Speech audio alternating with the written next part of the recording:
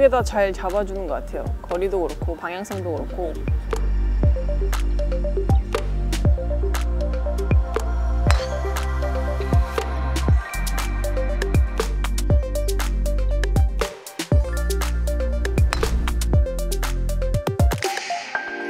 거리가 기존 거보다 좀 더 나가서 어, 되게 저는 되게 만족스러운 것 같아요.